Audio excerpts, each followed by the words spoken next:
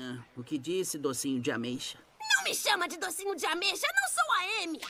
Ah, O quê? Sticks, que isso? Tira a mão do meu rosto. Você tem que vir comigo até o estúdio de TV. Tem um sujeito de olhos vermelhos de má intenção.